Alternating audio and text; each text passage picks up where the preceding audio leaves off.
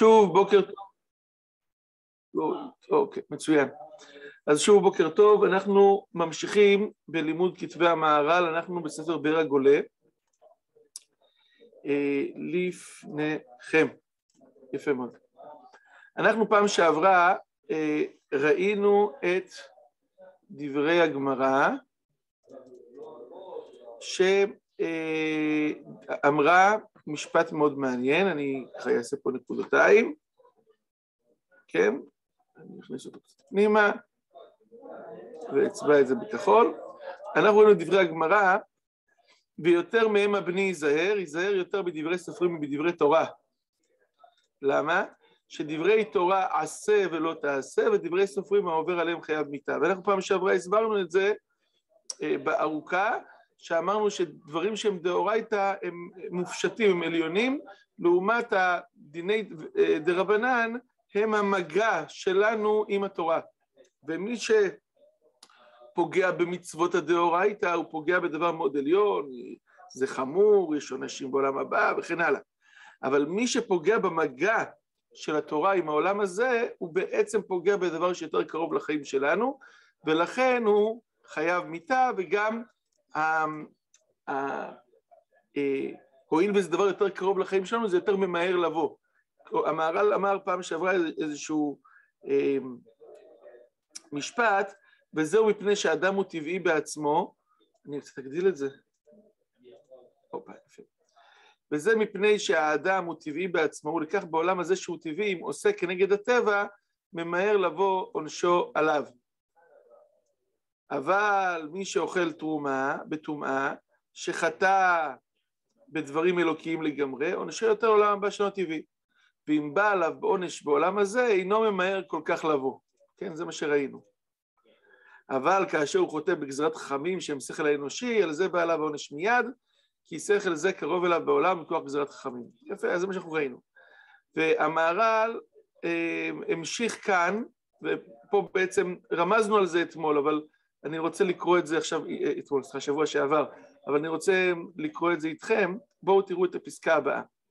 ועוד יש בדבר, יש בדבר זה, מה שאמר כי העובר על דבריהם חייב מיתה, עניין מופלג מאוד. יש כאן איזשהו משהו עמוק, וזה, כי כמו שאמרנו, כי גזרות דה רבנן נקראים גדר לתורה.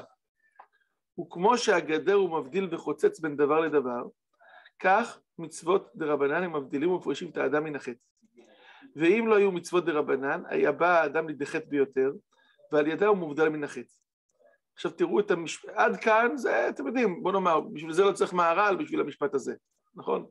זה דבר ברור. מה, מה החידוש? תראו איזה הגדרות מיוחדות. ודבר, ודבר כמו זה נחשב כמו צורה והשלמה לדבר.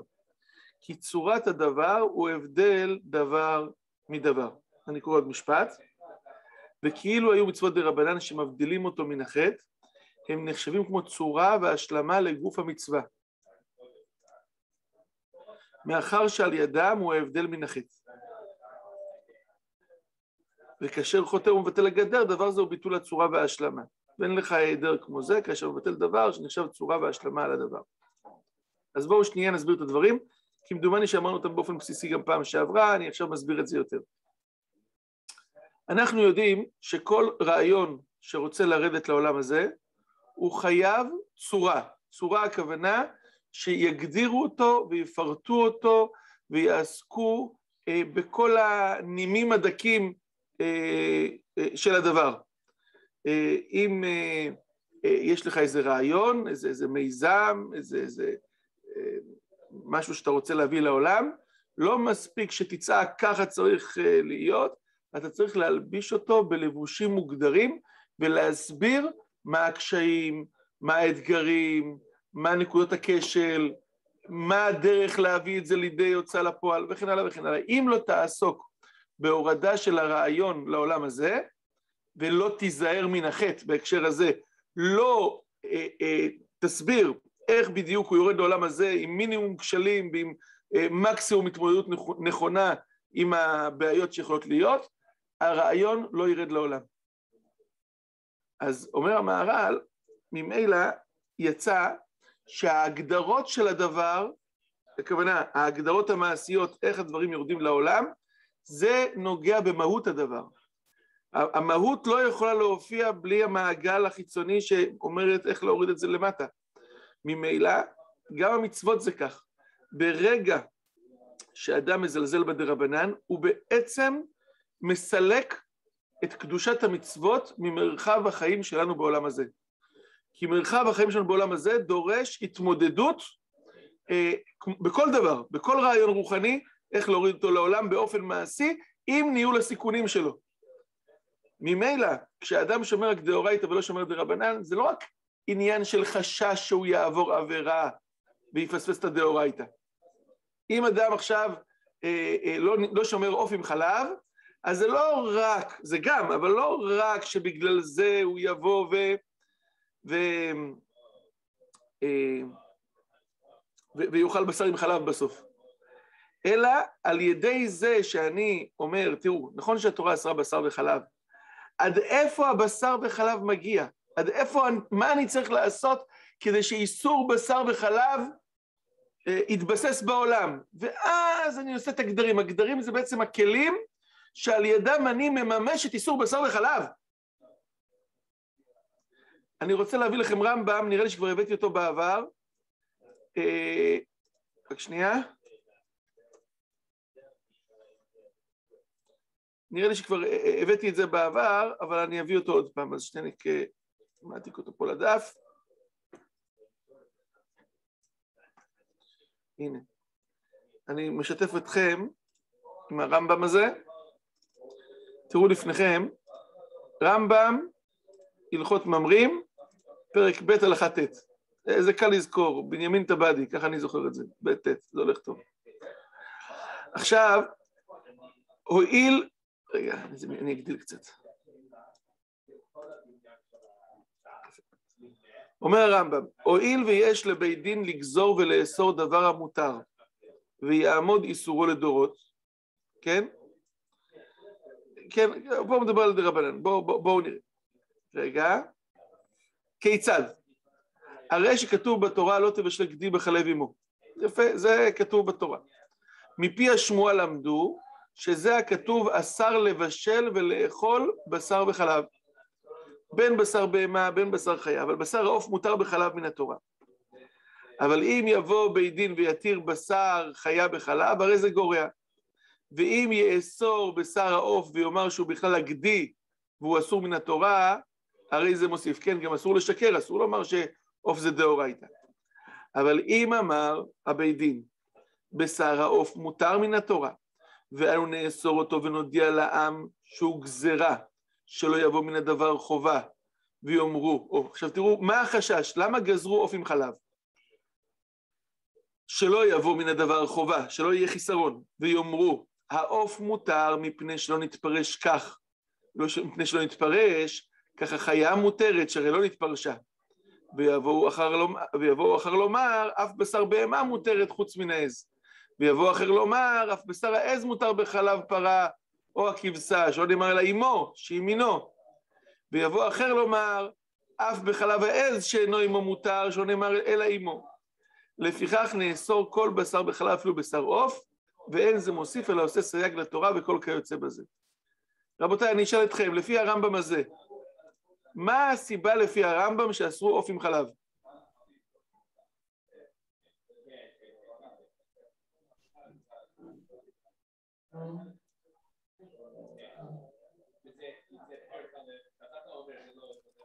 אני לא שומע?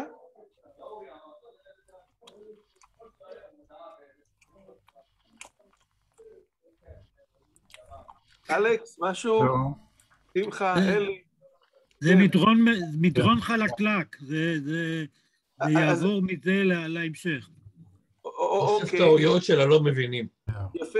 זה בעצם יצא שאיסור עוף עם חלב זה לא כמו שרוב העם מבינים, שמא תתבלבל ותחשוב שעוף זה בשר, נכון? רוב האנשים כך חושבים. שלמה אסור עוף עם חלב? כי העוף דומה לבשר, ויחשבו שיאכלו עוף עם חלב, ופתאום יראו איזה חתיכת בשר, יגידו זה עוף, ויבואו לאכול בשר עם חלב בטעות. זה לא. הרמב"ם כותב, איסור בשר עוף עם חלב, זה בגלל שזה בא ללמד אותך תורה. זה בא להסביר לך מה זה איסור בשר וחלב. יבואו אנשים ויאכלו עוף עם חלב, ויגידו, שנייה, למה עוף עם חלב מותר? כי לא יתפרש. אוקיי, גם כתוב גדי ולא עז. כן? גדי ולא פרה. לא תבשל גדי בחלב אמו, אז אם ת, תתיר עוף, אז יגידו שנייה, למה עוף מותר? כי זה לא כתוב במפורש, אז גם עוד דברים מותרים. בעצם יצא שהאיסור דה רבנן בא לבסס לי את איסור הדאורייתא, הוא בא להגיד לי איך האיסור דאורייתא ייתפס נכון בעולם הזה. שלא ייווצרו טעויות בהבנת התורה. אז לכן יצא שאיסורי הדרבנן הם בעצם מגדירים לי עד איפה איסור התורה מתפשט, מה צריך עוד לאסור כדי שאיסור התורה יתבסס בעולם. ממילא אומר המהר"ל, אני חוזר אלינו, ממילא אומר המהר"ל, רק שנייה,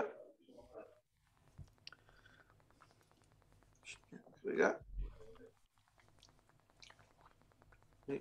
הזום תמיד מקשה עלינו קצת. כן. ממילא אני חוזר למעלה. ממילא אומר המהר"ל, יפה, ש... כן? כי איסורי דרבנן נחשבים כמו צורה והשלמה לגוף המצווה, מאחר שעל ידם הוא ההבדל מן החטא. וכאשר חוטא ומבטל הגדר, הוא מבטל את הדרבנן, דבר זה הוא ביטול הצורה וההשלמה. זה הבעיה, אומר המהר"ל. כשאתה מזלזל בדרבנן, אתה בעצם מזלזל בהתממשות של האיסור דאורייתא בעולם הזה. ואין לך היעדר כמו זה, כאשר מבטל דבר שנחשב צורה והשלמה לדבר. אתה, אתה הורס את כל, את כל המערכת. Okay. ולכך, מי שמבטל את כל המערכת, בעליו ההיעדר והמיתה גם כן, כאשר הוא נותן היעדר וביטול לדבר שהוא כמו צורה והשלמה. האדם שהורס את המעגל החיצוני של התורה, הוא בעצם אה, אה, אה, פוגע במעגל חיצוני, ומה שמתאים לו, אני כרגע, יש בזה עוד עומקים, אבל אני אצייר את זה כרגע חיצונית, ממילא גם הצורה שלו נהרסת. הוא, מתאים שהמערכת החיצונית שלו תיפגע כשהוא פוגע במערכת החיצונית של התורה. אם הוא היה פוגע באיסור דאורייתא, אז הוא היה מקבל עונש במערכת הפנימית שלו, עונש בעולם הבא, על הנשמה וכן הלאה. אבל ברגע שהוא פוגע במערכת החיצונית, בעצם הוא פוגע במעגל החיצוני של החיים. ולכן זה ביטול ומיתה, כי הוא היעדר בביטול לדבר שהוא כמו צורה והשלמה. גם הגוף שלנו הוא צורה והשלמה לנשמה. על ידי זה הנשמה יכולה להתבסס בעולם הזה. וזה שאמר, כן? יש לי שאלה. אה, יש אה, נתיבות ידוע שאם מישהו עובר על רבנן בשגגה, זה אין לו עונש כי הוא באמת לא מורד uh, נגד התקנה או משהו. נכון, זה, נכון, רמ"ג. זה, זה, קש, זה קשור למה שאנחנו אומרים עכשיו? מאוד, או... מאוד. כי, כי בעצם היסוד של הנתיבות הוא ש... כן, זה, זה נתיבות בסימן רל"ד, סעיף קטן ג'. היסוד של הנתיבות הוא ש... אה, רק שנייה, יפה. היסוד של הנתיבות הוא שבעצם אה, כשאדם עובר על איסור דה רבנן, האיסור הוא לא כי הוא פגע בדבר השם, הוא פגע במערכת, ועיקר הפגיעה במערכת אה, היא דורשת גם אה, איזשהו אה, זלזול או, או עניין של התנגדות למערכת, חוסר אכפתיות מהמערכת. ומילא כשהוא עושה את זה בשוגג, אז האיסור מתמסמס. האיסור לעבור על איסור דה רבנן הוא בעצם אה, אה, אה, פגיעה ב... אה, עוד פעם, הנתיבות אומר פגיעה בחכמים, כי הוא אומר שזה כבוד, כבוד חכמים, אבל בהקשר שלנו, פגיעה בתודעה שהמצוות צריכות לרדת לעולם הזה. כן? זה, זה, זה מחובר אחד לשני. אגב, זה היה אחד הדברים שהרב קוק כתב, הרי כידוע החזון איש מאוד התנגד לתר המכירה וכן הלאה, אז הרב קוק אמר שאפילו אם, אולי אני אסביר את זה יותר, החזון איש אמר שהשליח של הרבנות מוכר את אה, האדמות אז ממילא הואיל ולשיטת החזון איש זה עבירה, אז, אה, אז, אה, אז המכירה לא, לא מועילה כי אין שליח לדבר עבירה, כן? אז אחת התשובות הפשוטות שבאיסור דה רבנן, אם מישהו עושה את זה על פי חכמים, ואפילו היה עושה את זה בשוגג, לא שייך לומר אין שליח לדבר עבירה, אבל לא ניכנס לזה עכשיו. אני רוצה להמשיך בדברי המהר"ל, כדי שנהיה ממוקדים. ודבר זה שאמר, וזה שאמר, פורץ גדר ישחררו נחש. כלומר, מי שפורץ דבר שהוא גדר, דהיינו דבר שהוא מבדיל בין דבר לדבר, כן? כי כשאני מבדיל בין שתי דברים, אני בעצם מבאר את ההגדרה של כל דבר. כשאני עושה הבדלה בין קודש לחול, הנה, בואו בוא, תראו איזה דבר יפה. כשאני עושה הבדלה במוצאי שבת, אני בעצם אומר, לא רק יצאה שבת ונכנס יום חול, אלא אני אומר, עד איפה קדושת השבת מגיעה? היא מגיעה עד שאני עושה הבדלה, הבדלה בתפילה, הבדלה על יין, לא משנה כרגע, יש כל מיני דרגות בהבדלה. אבל תפקיד ההבדלה הוא בעצם להגיד עד היכן קדושת השבת נמשכת. על ידי שאני עושה הבדלה, אני בעצם מברר שיש כאן שתי מערכות עם יחסים ביניהם, שבת וחול, והיה, ו, ועד כאן נמשכה השבת, מכאן ואילך החול. כשאני אה, ממסמס את ההגדרה הזו, אז אה, אני פוגע בהבנת מהות השבת. כי השבת לא, היא לא רק אה, מצווה לשמור שבת, אלא יש איזושהי נוכחות של קדושה, של, של יום וינפש, יום עם נשמה יתרה, ואני עכשיו מנסה לתפוס אותו ולהגיד, אוקיי, מה היחס בין זה לבין ימי החול? אז אומר המהר"ל, כשאני מבטל את הגדר, אז אני אה, מבטל את הדבר שמבדיל בין דבר לדבר, שזהו עניין הגדר. ומפני שמבטל דבר שהוא כמו צורה, כמו שאמרנו, זה נותן את הצורה לשבת, את הצורה לבשר וחלב, אתה מגדיר עד איפה האיסור מגיע, שהוא הבדל בין דבר לדבר, דבר זה ודאי נחשב היעדר. ולפח, ולפיכך ישכנו נחש, כן? זה הפורץ גדר ישכנו נחש. מה הקשר לנחש? שהוא ההיעדר שהביא הנחש ההיעדר והמיטה לעולם. ודבר זה מבואר בחוכמה. רבותיי, אני רוצה להפוך את זה לשאלה.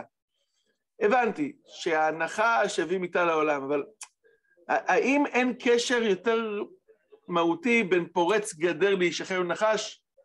כאילו, נכון שהנחש הביא מיטה לעולם, הוא יכול להגיד, פורץ גדר ימות, מה, מה, מה, הישחרר נחש זה דבר שצריך קצת, קצת אה, הסבר. מה, מה, מה המשמעות של הדבר? למה דווקא נחש? הבנתי, הנחש הביא מיטה לעולם, אבל האם יש משהו שיותר אפשר להתחבר? אם אין גדר, הנחש יכול להיכנס. אם אין גדר, הנחש יכול להיכנס, אוקיי. אני רוצה להביא לפניכם, אני אביא עכשיו, אה, רק שנייה, ציטוט מהמהר"ל בגבורות השם. הנה.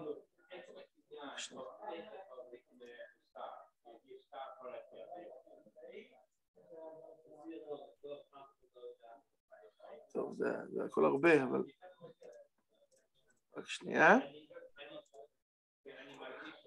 בגלל שדברי המהר"ל... מה זה? הנחש, הוא פרץ את הגדר לראשונה. או, אתה אומר, הנחש פרץ את הגדר לראשונה. לראשונה, ולכן... יפה מאוד, אתה אומר, הוא לא רק הביא מיטה, הוא גם פרץ את הגדר לראשונה. בואו תראו לפניכם, הבאתי פה ציטוט מהמהר"ל בגבורות השם, פרק ל"ב, איך שאתם רואים פה. אה, פה אהרון אה, שולח את המטה וכן הלאה, והמהר"ל פה מסביר את, ה, את ג' האותות. אז הוא אומר כך, ועוד, הנה, את זה אני אגיד, את זה.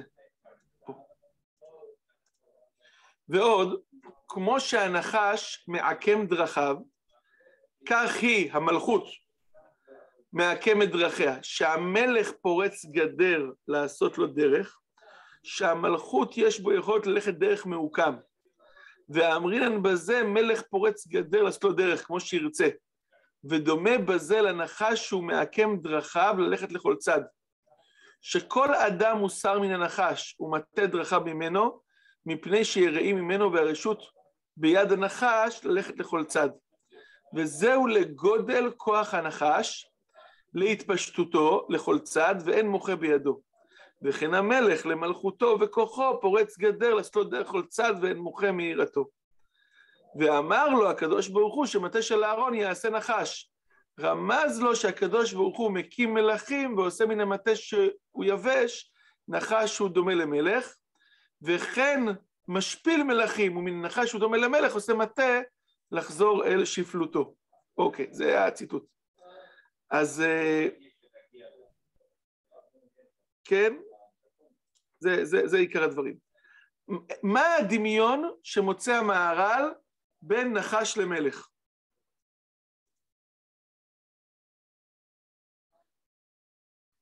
על שניהם נאמר שהם פורצים גדר, נכון? חופש תנועה. חופש תנועה, יפה אמרת. גם המלך וגם הנחש, שניהם פורצים גדר. פורץ גדר איש אחר נחש, ומלך פורץ גדר ואין ממכין בידו. המהר"ל אומר שזה בגלל כוח התנועה של הנחש. מה הכוונה? אז בואו עכשיו פה אני רוצה להסביר את הדברים. כנראה, כנראה, העניין אה, של הנחש זה, אני, אני מנסה שוב למצוא את ההגדרה שלו, את החיבור שלו אל, אל המלך. המלך בסופו של דבר לא משועבד לכללים האנושיים הרגילים. הוא, יש לו יכולת לפרוץ גדר לטובת הנהגת הכלל, אה, לסיבות כאלה ואחרות, מלך פורץ גדר ואין מכין בידו. הנחש בעצם הוא גם מתנהג בכזה אופן, הוא פורץ את הגדרות, הוא, הוא מתהלך לא על פי הכללים הרגילים. אה, אם אני אנסה עוד פעם קצת אה, להסביר את זה, הנחש, אולי, איך, איך המהר"ל שם אמר, לגודל כוחו של הנחש, כן, בואו בוא נראה את זה עוד פעם, את המילים, וזהו לגודל כוח הנחש להתפשטותו בכל צד, אין מוחה בידו. הנחש הוא בעל חיים שקשה להשתלט עליו, כן? הוא, יש לו, הוא מתפשט לכל צד. אין לו, אתם פעם ראיתם נחש, אה, איך נחש הולך? לא רק בזיגזג, הוא גם הולך באלכסון. ראיתם את זה פעם? הוא הולך באלכסון. קשה ללכת ישר.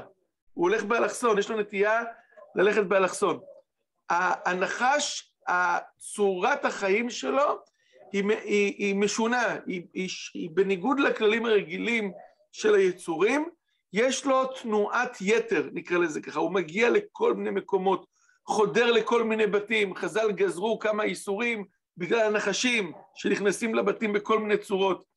הנחש גם, אה, מחברים אותו ללשון הרע, שוב, הוא נכנס, שובר את הגדרות, נכנס לכל מיני מקומות שלא שייך. אומר המהר"ל, פורץ גדר ישכם נחש, אותו נחש שהוא בלי גבולות, בעצם הוא סמל אמיתה. כל דבר שאין לו גבול, שהוא לא מוגבל, ממילא הוא מסוכן, ממילא הוא סמל אמיתה. לא סתם הנחש העקלתון שהולך באופן מעוקל, לכן הוא נקרא עקלתון, הוא מביא מיתה לעולם. כי הוא בעצמו מתנהג בצורה בלי גדרות, אין לו גבולות. הוא לא יצור שניתן להשתלט עליו באופן רגיל. הוא משהו אחר, הוא יוצא מהגדרים הרגילים. לכן האדם פוחד מהנחש. הנחש הערמומי, הנחש שובר את כללי ה, ה, אה, בעלי החיים הרגילים, והנחש היה ערום, כן? הערמומיות של הנחש בעצם אומרת שאין לו את הגבולות הרגילים. ממילא, מי ששובר גבולות, בעצם הוא דומה קצת לנחש. שגם הנחש הוא חסר גבולות, והקרבה הזאת לנחש היא, היא מסוכנת. זה, זה הכיוון שהמהר"ל פה בעצם לוקח את הדברים. אז אני חוזר אלינו, כל פעם אני צריך קצת לזלות למעלה. יפה מאוד. וכאשר חוטא ומבטל הגדר, דבר זה הוא ביטול הצורה וההשלמה. ואין לך היעדר כמו זה כאשר, וכך בא אליו ההיעדר והמיטה, פורץ גדר, קראנו על זה שהוא ההיעדר. ולפיכך בכל מקום שזכרו גדר שלא יבוא האדם לחטא, אמרו העובר על גדרם חייב מיתה. אוקיי, עכשיו המהר"ל יביא לנו דוגמה ממסכת ברכות ויסביר שוב את העיקרון שלו לאור הגמרא הזאת. במסכת ברכות, דף ד' עמוד ב', אה, אני אשנה את הצבע שיהיה יותר ברור, הנה, שלא יבוא אדם מן השדה ויאמר אוכל קמעה ואשתה קמעה ואחר כך אקרא קריאת שמע ואתפלל. נמצא שאם עושה כן, חוטפתו שינה וישן כל הלילה. אלא אדם בא מן השדה, יקנוס לבית המדרש, אם רגיל לקרוא תקרא, אם רגיל לשנות תשנה, ואחר כך קורא קריאת שמע ומתפלל. וכל העובר על דברי חכמים חייב מיתה. זה בעצם העניין. הרי זכרו, אצל זה כל העובר על דברי חיים חייב מיתה. משום שהם גדרו שלא יבוא האדם לבטל קריאת שמע והתפילה שלא יאכל קודם. ומי שעובר על הגדר שגדרו שלא יבוא לידי איסור, לכך יש חיון נחש כמו שאמרנו. כי על ידי, שוב, גדר חכמים, יש הבדל בין דבר לדבר. כן? כשאני אומר, יש לך מצוות קריאת שמע, אוקיי, עד איפה היא מתפשטת? מה הגלים שהיא עושה? אחד הגלים שהיא עושה, שלא תאכל ותשתה לפני קריאת שמע. זה הגל של המצווה, זה הגדר שלה, זה ה... עד כאן היא, היא נוגעת בחייך. וכאשר יש הבדל בין דבר לדבר, בין החיים שלך לבין המצווה, ואתה מבין עד איפה המצווה מגיעה ועד איפה היא מוגבלת, דבר זה נחשב צורתו, כי כל צורה הוא הבדל בין דבר לדבר. ובסילוק ההבדל, דבר זה נחשב כמו ביטול הצורה, כאשר מבטל דבר שהוא צורה. אני קורא עוד משפט ואז אני אסביר, ולכך ראוי שיבטל צורתו גם כן ויהיה מקבל מיתה. והדבר הזה מבואר למעלה וכן הלאה וכן הלאה. אוקיי, אז אני שנייה, אה, אז רק אני, אני אקח שוב את הדוגמה הזאת של קריאת שמע. בשעה שהאדם מבטל את צורת המצווה, קרי, את יכולת המצווה להופיע בעולם הזה בצורה נכונה ועד איפה המצווה חודרת לחיים, בעצם זה לא שרק חכמים, אולי אני אחדד את זה יותר, ריאלית, הם אמרו, תראה, אם תאכל ותשתה, מן הסתם אתה תירדם. זה לא רק זה. הם חכמים ניסו להסביר לך עד איפה המשמעות של מצוות קריאת שמע מגיעה. היא מגיעה עד הפרט הזה שאתה צריך להיזהר או להפסיד אותו. כשחכמים דייקו אותנו והביאו אותנו להגדרה המדויקת הזאת, עד, עד היכן הדברים מגיעים ולהיכן הדברים מגיעים, עד איזה משמעות מעשית, הם בעצם אה, אה, ביססו אצלנו את גבולותיה של המצווה, ועכשיו המצווה נוכחת בעולם. כשהמצווה נוכחת, אתה לא תפספוס אותה גם כן. אנחנו יודעים שהרבה פעמים, אה, דווקא על ידי לימוד הלכה, האדם מקפיד יותר על הלכה. לא רק כשהוא מקפיד על דברים שהוא לא ידע, הוא גם מקפיד על דברים יותר שהוא ידע. זאת אומרת, אדם לא הקפיד על משהו עד הסוף, הוא, הוא ידע שזה לא מאה אחוז, עכשיו שהוא לומד את פרטי ההלכה, מתבססת אצלו ההכרה שהוא צריך להקפיד גם בפרטים הללו והללו וגם בעניין הכללי באופן כללי. למה? כי בעצם המצווה עכשיו מתלבשת יותר בחיים שלו. הוא יודע את הגבולות שלה, הוא מבין את המשמעות שלה, הוא מבין עד איפה היא נוגעת. הדבר הזה הוא הגדר שהמהר"ל מדבר עליה כל הזמן. רבותיי, שאלות בינתיים לפני שמתקדמים הלאה.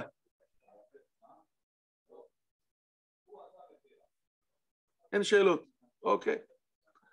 אני מקווה שמשהו מובן מכל מה שאני אומר, בעזרת השם. בסדר. Uh, אני אמשיך הלאה. ואמר, אמרה הגמרא, ואם תאמר, אם יש בהם ממש, מפני מה לא נכתבו, כן? זה הגמרא, אם אתם זוכרים, למעלה, למעלה, כן. ויותר מבני, מהם הבני ייזהר, ייזהר יותר בדברי סופרי בדברי תורה, כן, שדברי תורה עשה ולא תעשה, אמרנו זה המופשט, ודברי סופרים העובר עליהם חייב מיתה, ואם תאמר, הואיל ויש בהם ממש, מפני מה לא נכתבו, עשות ספרים הרבה אין קץ. אז עכשיו המהר"ל לוקח את המשפט הזה ומנסה להסביר אותו. אז הוא אומר כך, ואמר, אם תאמר אם יש בהם ממש, מפני מה לא נכתבו, פירוש, אף אם אין ראוי שיהיו נכתבים עם התורה. בשביל ההפרש ביניהם, דהיינו הגמרא לא שואלת, אומר המהר"ל, למה הם לא נכתבו עם התורה? זה ברור, יש ביניהם הפרש. אף אם אין ראוי שיהיו נכתבים עם התורה. בשביל ההפרש שביניהם, כמו שאמרנו, אבל למה לא נכתבו בפני עצמן, כמו כל ספרי הקודש? למה כשקיבלנו תורה מהר סיני, התורה שבכתב לא ירדה עם הגמרא? עם הגמרא. שיהיה תורה שבכתב, וחוץ מזה יהיה גם גמרא. ואמר על זה, עשות ספרים הרבה אין קץ. זה התירוץ של הגמרא. מה התירוץ? רוצה לומר, כי אין דברי חכמים מדמים לדברי תורה, יש ביניהם הבדל. כי דברי תורה יסוד המצווה. התמצית, העיקרון. ודברי חכמים הם הדברים הפרטיים שהם למצווה, הגבולות. ודברים הפרטיים הולכים לבלתי תכלית, ומפני שאין קץ להם, לכך לא נכתבו כלל. עכשיו תראו את ההסבר המעניין, שאם היו נכתבים מקצת מהם, היה דבר חסר, כיוון שאי אפשר לכתוב הכל, ולפיכך לא נכתבו כלל, ואפילו מקצתן לא נכתבו, והדבר הזה מבואר. אומר המהר"ל, אי אפשר לכתוב רק חצי תורה שבעל פה. ולכן, כשקיבלנו תורה שבכתב, לא קיבלנו יחד עם זה איזושהי תורה שבעל פה מסוימת, כי בעיסוק בפרטים ובגבולות זה לאינסוף, ולכן לא, משמיים לא ירד דבר חלקי, ולכן לא ירד משמיים התורה שבעל פה בצורה הכתובה. יפה מאוד. סיימנו את הבאר הראשון, פרק ג', אנחנו עוברים לבאר הראשון, פרק ד'. אמנם. לגבי פרק ג' עוד, עוד שאלה קטנה? אפשר גם שאלה גדולה. אנחנו עוסקים בגזרות של, של חכמים. נכון. בתורה שבעל פה ענף הגזרות. והגזרות נכון. הם ניתנו ממשה רבינו, יהושע בן נון ועד ימינו. נכון. זה לא, זה לא דבר שהיה כמו הלכה למשה מסיני שניתן בהר סיני. זה, זה, זה כתוצאה מנסיבות החיים גזר אה, אה, רבנו גרשום מאור הגולה מה שגזר וכולי לא וכולי וכולי. חיים גזרו אוף עם חלב, זה הכי מוכר. השאלה כן. בכלל אם זה יהיה בתורה, למה שיהיה בתורה? לא, כי המהר"ל, כל מה שהוא רוצה להסביר פה, שהתורה לא יכולה להופיע בעולם הזה בלי גזרות חכמים. אם כן, כי הסברנו שגזרות חכמים בעצם מבססים את, ה, את המצוות בעולם הזה, שיש להם הגדרות והגבלות. המצווה היא משהו, משהו מופשט. כשאתה בא ועוסק בפרטים של זה, בדאורייתא ובדרבנן, עד שאתה אומר איך זה בפועל מתממש, אז אם כן יצא שגם הגזרות דרבנן הם חלק מהתורה, כי הם מוכרחים, הם מוכרחים להיות אה, אה, אה, כדי שהמצווה תתבסס בעולם. אז אם זה מוכרח, אז מבין המהר"ל, אז זה חלק מהתורה. אומר המהר"ל, נכון, אבל בגלל שיש אינסוף פרטים, לכן זה לא נכתב. אבל למה אם זה מוכרח, זה לקח אלפיים שנה עד שזה... עד שחכמים גזרו את זה. לא, אז... הם גזרו את זה בגלל, בגלל סיבות אה, ש, שנולדו. אז המהר"ל לא מבין... אנשים נמנעו מלהלוות, אז הלל גזר ותיקן תקנה. נכון, אז, אז בואו בוא נסכים את זה. ברור שיש, אתה מדבר כרגע על תקנה שהוא עשה, אבל בואו ניקח שנייה עוף עם חלב, או דברים שהם לא היו תקנה, כן, לגזרה, גזרה השמע. אה, אז כשחיים גזרו איזושהי גזרה, אתה צודק שזה הגיע לגזרה ברורה בזמן מסוים. אה, גם קודם לכן, כל אדם היה צריך לגזור לעצמו את הגזרות כדי שהמצוות יתבססו אצלו. כל אדם לפי עניינו. גם היום יש כזה דבר, איך שאומרים מסעת ישרים, שחוץ ממצוות דאורייתא ודרבנן, כל אדם צריך לגדור את עצמו בעניינים שהוא יודע שצריך בהם גדר. זאת אומרת, הגדר הוא הכרח אנושי. החכמים, בעקבות מעשה שהיה, ראו לנכון להפוך דבר מסוים לגדר כללי. ברור מה אני אומר? אבל עצם הגדר הוא הכרח. הגדר... זה כל אדם סובייקטיבי. שגזרו חכמים אה, שאין ייבום יותר, שלא מייבמים, אסור לייבם.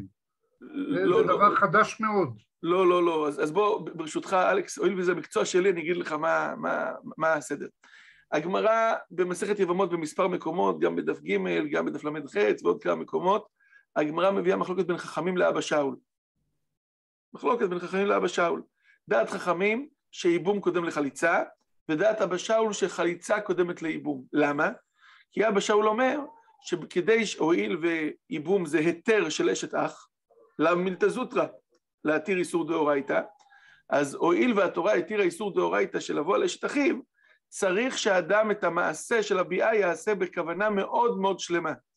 ואמר אבא שאול, אנחנו צריכים להיזהר כי לא כל אדם בדרגה הזו, ולכן יש להעדיף להקדים את החליצה לייבום. בעקבות ההנהגה הזאת של אבא שאול, שכך נפסק להלכה על ידי הרמה, בניגוד לרמב"ם שפסק כמו חכמים, והשולחן ערוך, רש"י ותוספות והרמה, הפסיקה האשכנזית הייתה כמו אבא שאול. ומשם הגיע העניין שלא עושים ייבום. אבל זה לא גזירת חכמים, זה בגלל שהמצווה דורשת הרבה הכנות, ואנחנו יודעים שלא כל אדם מוכשר להכנות הללו, העדפנו להקדים את החליצה לעיבור. אני סיימתי. אלכס. בסדר? אלכס אומר שזה לא הגזירה, לא תקנה, הגזירה היחידה שהתגבשה או נוצרה במהלך הדורות. הגזרות נוצרות לפעמים, או התקנות, בהתאם ל... לפחות עד לצוף ימי הגמרא, לפי המציאות. כי פרוסבול זה דוגמה של תקנה של, שנולדה ממצב מסוים. דברים אחרים נולדו מצבים אחרים, כן? זה משהו איך יכול להיות שהכל נוצר מלכתחילה, אבל אני חושב שהחיוב שאנחנו מדבר עליו זה חיוב לדקה מסוימת בחיים בעולם, זה לא חיוב, הוא חיוב הכרחי היום, הוא לא חיוב הכרחי אתמול. למה? כן, אני שומע. אני שומע מה, יש לך עוד מה לומר? שאני פשוט לא... אנחנו בזום, אנחנו לא... לא, לא, אני גמרתי, רציתי להבין מה, להסביר מה אלכס לדעתי אומר. כן, כן, לא, לא, אני מבין, אני שומע, יש איזו הנחת יסוד שחכמים ראו איזו בעיה שהייתה בזמנם ולכן עשו גזירה.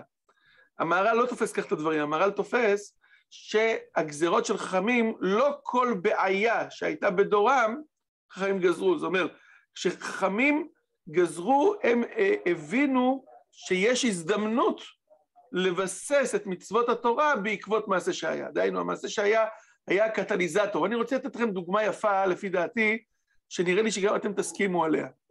אני מקווה לפחות, אני לא יכול להתחייב. אנחנו יודעים, הרמב"ם מסביר מה הסיבה שחז"ל תיקנו נוסח תפילה מסוים, נכון? נוסח תפילה קבוע. מה מסביר הרמב"ם, אתם זוכרים?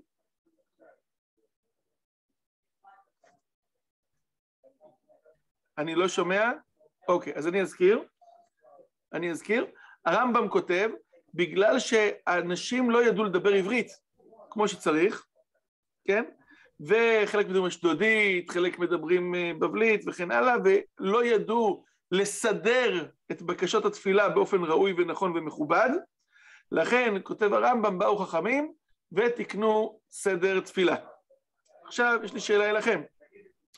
אנחנו, אה, נפש החיים, בניגוד לרמב"ם, לא יודע אם בניגוד, נפש החיים, בשער ב', מסביר בארוכה איך כל מילה ומילה בתפילה, איך היא שייכת לעולמות העליונים. כן, ואיך באמת התפילה הזאת, יש שערים וכן הלאה, משהו מאוד מיסטי, מאוד עליון.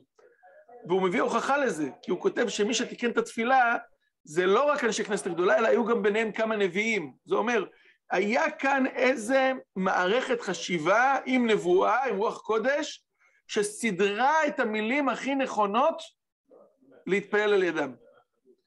נשאלת השאלה, אם חכמים יודעים לסדר את המילים הכי נכונות והכי טובות, אז למה היה צריך שיהיה מצב של אנשים עילגים, שלא יודעים לסדר תפילתם כראוי, אשדודית ובבלית וכן הלאה, ופשוט מראש לא תיקנו את סדר התפילה הראוי, הנכון ביותר, על פי העולמות העליונים, העולמות התחתונים, על פי נביאים, היה נביאים תמיד, יותר מאשר בזמן של כנסת הגדולה. לפני זה היו מלא מלא נביאים.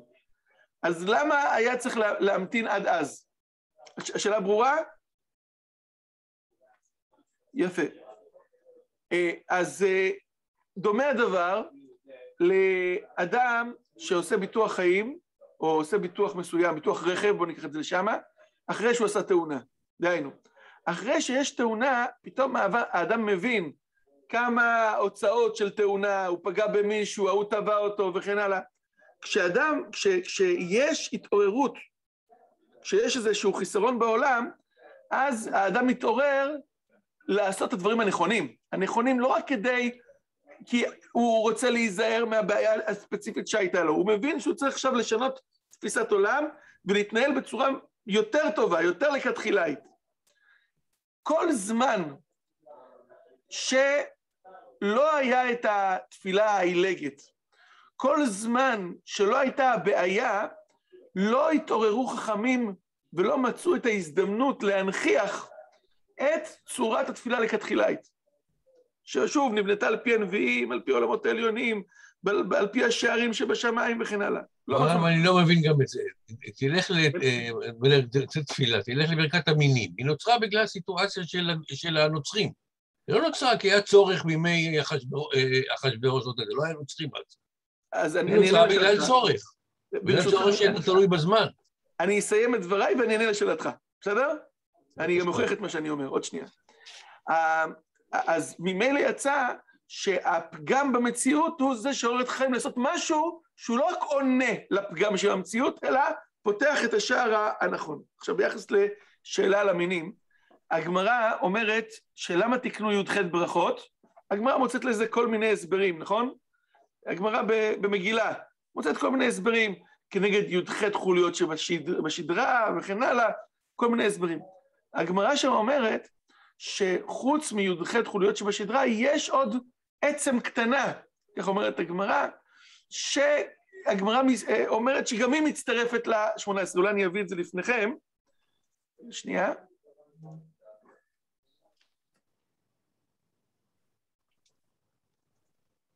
שנייה.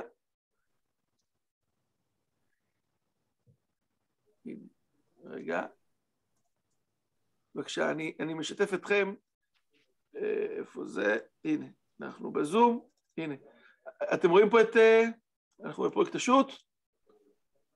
בברכות דף כ"ח. גמרא, אני קצת אגדיל את זה שיהיה יותר קל לראות. אוקיי, יפה.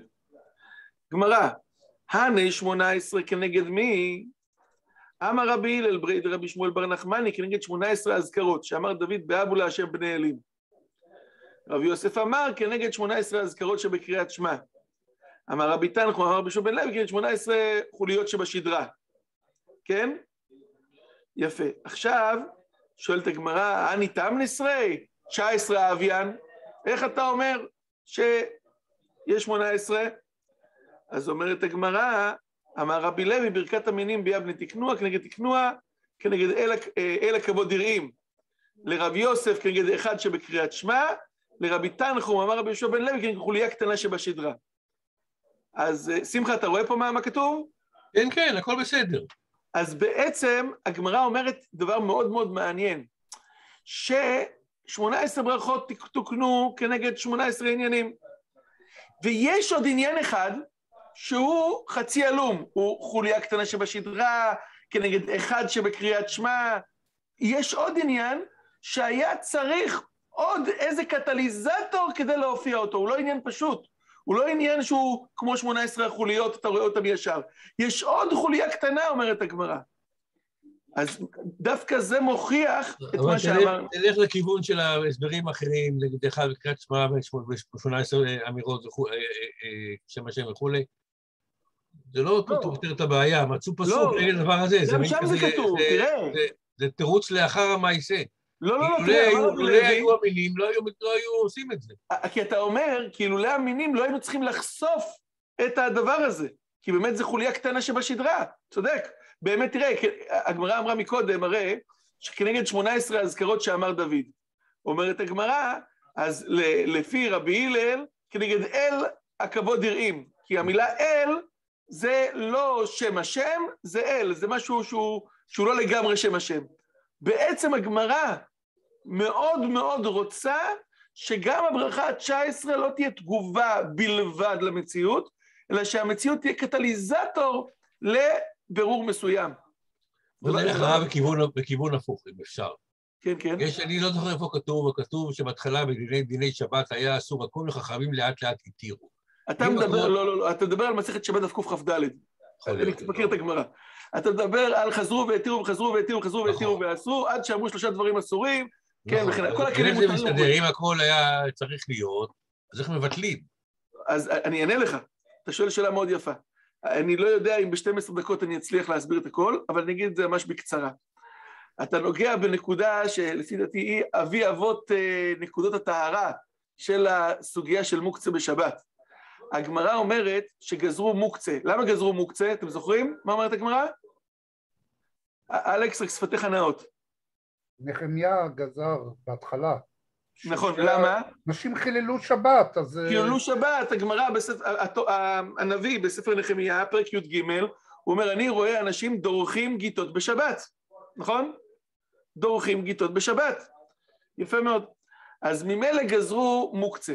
האם זה נשמע לכם הגיוני לגזור מוקצה שאסור להרים אבן, או, או לגעת, או לשחק בחול, או, או אני יודע מה, תפוח שנפל, לא, לא לגעת בו כי, כי, כי הוא מוקצה, וכן הלאה, בגלל שאנשים חיללו שבת. עכשיו, זה עוד מה שכתוב בנחמיה. מה כתוב בגמרא? בגמרא כתוב שגזרו מוקצה סרח לאיסור הוצאה מרשות לרשות. ככה הגמרא אומרת, שבת קכ"ד. זאת אומרת שאנשים לא יבואו להוציא מרשות לרשות. עכשיו, זה, הדבר הזה הוא מאוד מוזר, בפרט אם אנחנו מחזיקים מעצמנו אנשים יראי שמיים, אז אנחנו מטלטלים היום בשבת, נכון? יש לנו עירוב. אז כל העניין הזה של הוצאה הוא עניין מאוד מוזר. גוזרים מוקצה, אומרת הגמרא, בגלל דין הוצאה, אבל אנחנו אומרים שרשות הרבים צריכה 60 ריבו, ואין רשות הרבים כל כך מהר. קשה להגיע לזה. אז זה מאוד מבלבל. אתה אומר, צריך, גזרו מוקצה בגלל הוצאה, אבל בעצם אין כל כך הוצאה. העניין הזה של הוצאה הוא חוזר על עצמו בעוד כמה מקומות. אני, אני תמיד אוהב לראות את היהודי בראש השנה שחל בשבת, אני רואה אותו ככה ברבע לשמונה עם הטלית, הולך לבית כנסת, אני אומר, לאיפה אתה הולך? לבית כנסת. ו- ו- ויש היום תקיעת שופר? לא, לא, אין תקיעת שופר. למה? זה ראש השנה, הוא אומר שבת. ולמה אסרו תקיעת שופר בשבת? הוא אומר, שמא יטלטל דל דל ברשות והוא הולך לי עם הטלית ביד. אני אומר, אז למה אתה לוקח טלית ביד? הוא אומר, יש עירוב. אני שואל אותו, אם יש עירוב, אז למה לא, לא תוקעים? כן? זה, זה מאוד נחמד הסיטואציה הזאת. עכשיו, הדבר הזה הוא, הוא דבר ש... בוא נאמר ככה, אפשר לתרגם אותו בשתי אופנים. אפשר ללמד עליו קטגוריה, אפשר ללמד עליו סנגוריה. אי אפשר באמצע. אם אתה מלמד עליו קטגוריה, אתה אומר, תראה, היהודים משוגעים. הם מצד אחד מבטלים מצוות דאורייתא ביום הראשון של ראש השנה או ביום הראשון של סוכות. זה, זה יוצא אותו דבר כידוע. אם יום הראשון של ראש השנה יצא שבת, אז יום הראשון של סוכות יצא שבת. אז מבטלים בשנה אחת גם שופר דאורייתא, גם לולב דאורייתא, הרסו את המצוות, ומצד שני הם מטלטלים בשבת, וגם מוקצה מוסרים כי אסור לטלטל בשבת. איי, איפה, איפה נכנס פה היגיון? ואיך המוקצה, או הגמרא אומרת שזה עניין של טלטול, הרי בכלל מדובר על דורכים גיטות בשבת וכל החנויות פתוחות, כמו שמתאר שם נחמיה בפרק י"ג. אז אני ברשותכם, בעשר דקות שנשארו לי, אני אנסה להסביר את הדברים. אני, מסביר כמובן את הדברים על פי המהר"ל, כי אנחנו עוסקים כרגע במהר"ל. אז המהר"ל בספרו גור אריה, הוא מסביר את הדברים כך. אנחנו יודעים, עוד הפתעה מאוד מעניינת, שאיסור הוצאה מרשות לרשות הוא האיסור הראשון, ואולי אפילו המרכזי ביותר שמוזכר במסכת שבת.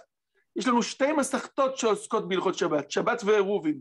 רוב מסכת שבת עוסקת באיסור הוצאה, נכון? בטח אם אתה מכיל גם את מוקצה בפנים, שגם מוקצה זה הוצאה, אבל יש במה אישה יוצאה, במה היא הוצאה. אה, אה, כן, אה, המשנה הראשונה, אני והעשיר, שתיים שאמר בפנים, שתיים שאמר בחוץ, וכן הלאה, ורוב המסכת עוסקת בזה. והתוספות כותבים למה זה כך, הם אומרים כי הוצאה מלאכה גרועה היא. מה הכוונה? זאת, אז התוספות ראש מסביר את זה, הוא אומר שזו מלאכה שקשה להבין אותה. קשה להבין איזה איסור זה. היה לי סידור בתוך הבית, עכשיו יש לי סידור מחוץ לבית. איפה? קשה לראות בזה מלאכה. המהר"ל מסביר שדווקא זאת הסיבה שהמהות של השבת קשורה לאיסור הוצאה. אני לא אסביר את ההסברים הפנימיים למה זה ככה, אבל עצם העובדה שביום טוב הוצאה מותרת ובשבת הוצאה אסורה, בעצם אומרת שהיתרון של שבת על יום טוב היא בנקודת ההוצאה. יש? זה היתרון. ממילא יצא שדווקא כשאני נוגע באיסור הוצאה, ואני מחזק אותו, אני אומר, אל תיגעו במוקצה. למה? כדי שתיגעו בכמה שפחות דברים. כדי שתוציאו כמה שפחות דברים מרשות היחיד ורשות הרבים, למרות שאין לכם רשות היחיד ורשות הרבים, מצויה כל כך הרבה, אני בעצם מנסה להאדיר את מעלת השבת יותר מאשר יום טוב. כי אני נוגע בנקודה הייחודית לשבת.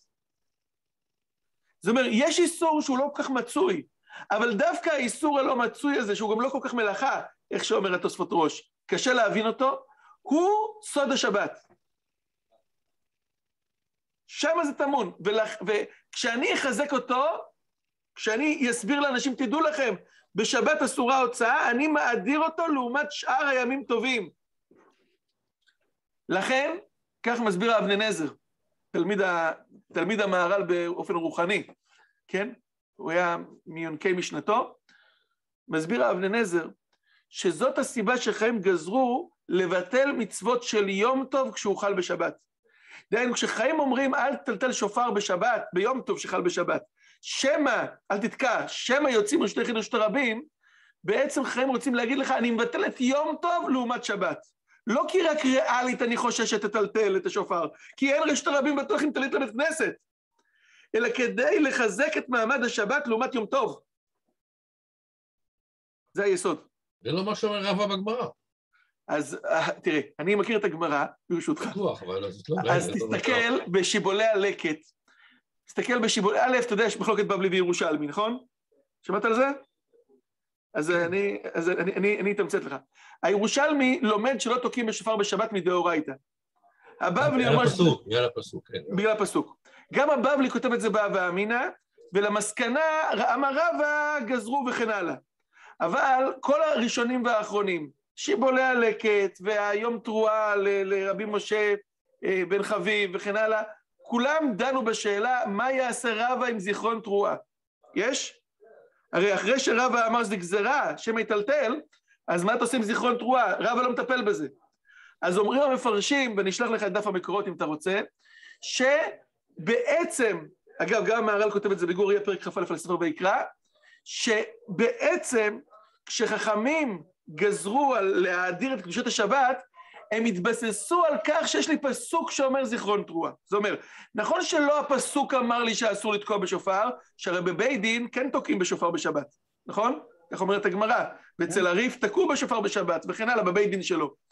אבל בזה שכתוב זיכרון תרועה, בעצם יש איזשהו רמז לכך שיש מקום שיש בראש השנה עניין של זכר ולא עניין של ממשות, וזה המוטיבציה, זה הבסיס, זה ההייטר, זה החלון הזדמנויות, כך מסבירים הראשונים בעקבות השאלה הזאת, של רבא לגזור את הגזרה הזאת, שעניינה כאמור זה לרומם את השבת לעומת היום טוב. כל מה שאמרתי כרגע כתוב בשיבולי הלקט, כתוב בגור אריה למהר"ל בגור אריה, ובספר יום תרועה על מסכת ראש השנה, דף כ"ה. אז הדבר הזה, דווקא השאלות שלכם הן מחדדות את העניין, הבאתם שאלות יפות, גם על התפילה, הנה. אה, איך- אה, איך הגעת מזה לסיפור של ביטול הגדרות בשבת? הגדרים בשבת. לא הבנתי? יש איזה, חזרו והתירו, אה, חזרו לא, והתירו. אז, אז ח- חזרו והתירו וחזרו והתירו זה ככה. הכוונה היא ככה. הרי חכמים רצו לבסס את אה, אה, אה, עניין ההוצאה בתודעה הציבורית כדי לחזק את עניין השבת. עכשיו, הביסוס של זה היה צריך גם אה, אה, הסכמה של הציבור. זאת אומרת, אנשים לא הקפידו על כל מיני דברים, הגזרה לא הלכה, היא לא התפשטה, ולכן חזרו והתירו וחזרו והתירו ואסרו, היה שם איזה תהליך עד, שהגז... עד שהם ראו שהגזרה מתבססת ומביאה את הפרי הרצוי. אז בעצם יש דברים ש... עוד פעם, כל הזמן שגזרה לא מתפשטת, זה אומר שבעצם היא, היא, היא, היא לא מתאימה, אין לזה מענה, אין, אין, אין קונים לדבר הזה, זה לא ממלא את הצורך שלו. אז חכמים משחקים לפעמים עם הגזרות, עד שהם מוצאים את ההתאמה של הגזרה לייעוד שלה. אבל אתה רואה שמה שזה לא היה שהיה גזרה, ואחרי 300 שנה ביטלו אותה, אלא חזרו והתירו וחזרו והתירו, כן? היה איזה תהליך של אה, ניסוי וטעייה, עד שהצליחו לגעת, הרגישו חיים שהם נוגעים בנקודה של הגזרה הסופית. זה מה שכתוב שם בגמרא בקכ"ד, מסכת שבת. טוב רבותיי, עשינו דרך נחמדה וארוכה. אה, אני שמח מאוד מהשאלות שלכם, זה הופך את השיעור למעניין. אני חצי שיעור הרגשתי שאני מדבר על עצמי, עכשיו חותם הרגשתי שאני מדבר על בני אדם, זה טוב. אני שמח מאוד על השאלות. תזכו למצוות, בעזרת השם ניפגש שבוע הבא. כן, כן, יהיה רצון. כל טוב, בשורות טובות. תודה רבה, כל טוב. אני- אני נשארתי, כפי שגדלתי מגיל צעיר מאוד, כן, הראש שלי כבר מותאם לכיוון, לא של המהר"ל, לא לכיוון הזה. אוקיי, בסדר. בוא אני נאמר, לא- לא- לא מסוגל לקלוט, זאת אומרת, אני שומע כדברי חוכמה. כן, כן, אני מבין, זה אני כבוד מבין. גדול לרב עצמו, זה- זה זה זכות גדולה שלי לשמוע. אבל זה לא הולך, זה לא, זה לא כן. אני- אני מבין את הקושי, אני יכול להגיד לך שאתה לא, כנראה לא הראשון וגם לא האחרון שאומר לי את הדבר הזה, אבל בסדר, באמת, אתה צריך לדעת, אני אגיד עוד דבר, אם יש לי שתי דקות עד השיעור הבא, המהר"ל אה, כתב את ספריו לפני כ-400-450 שנה. המהר"ל נולד 20 שנה אחרי גירוש ספרד, וחי כ-98 שנה, וכתב את ספריו בשנותיו האחרונות. בערך, לא יודע אם זה בגיל 70 או גיל 80, יש לנו 88 עד 98, ז- זכה לחיים ארוכים וכתב את זה בסוף חייו. בכל מקרה, במשך 300 שנה כמעט ולא עסקו בספרי המהר"ל כי הם לא היו ברורים. כאילו אנשים לא הבינו את, את תורתו. לפני מאה שנה, עם התעוררות שיבת ציון, אז היו כמה חכמים שבמקביל עסקו במהר"ל. החל מאבני נזר, דרך רבי יצחק קוטנר, דרך הרב קוק, היה כאן איזושהי סדרה ששינתה את פני העולם. היום, גם במגזר החרדי, דיברתי עם חברים שלי בישיבת מיר, כבר לפני 15 ו-20 שנה, הם אמרו לי שבמיר לומדים מהר"ל וזה הופך, הפך להיות חלק מהלוז הלימודי, לומדים פרשת שבוע עם מהר"ל. יש לנו כאן בקהילה אה, משפחת השינג, בטח אתם מכירים אותם, כן? הם, גם קצת קשורים לאלארי, גם קצת לעדת בני ישראל, מה שנקרא משכן מיכאל, וגם אלינו. אז, אה, אז אחד הבנים שלהם לומד ב- בישיבה חרדית, פרחי אהרון או מטה אהרון, משהו כזה, הוא אמר לי שאצלהם המשגיח מעביר שיחות של שלוש שעות במהר"ל. דבר שלא עושה ערום אבותינו. כן, לפני מאה שנה זה היה תורה עלומה לגמרי, ולאט לאט היא מתפתחת. אז גם אני חלק כנראה מהמהפכים האלה. טוב, יישר כוח. כל טוב, בשורות טובות.